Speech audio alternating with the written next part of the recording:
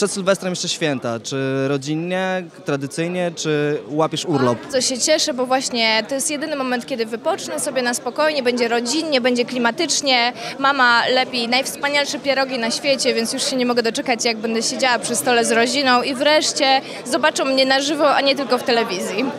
Zaganiają cię do pracy, typu e, poodkurzaj, ubierz choinkę, umyj okna, czy jesteś gwiazdą w domu również? Nie, absolutnie nie gwiazdorze w domu. Staram, na ile mogę, to staram się pomagać. E, Tata e, zawsze ubiera choinkę, mama przepyszne rzeczy gotuje w kuchni, więc jak tylko mogę w czymkolwiek pomóc, to zawsze się udzielam.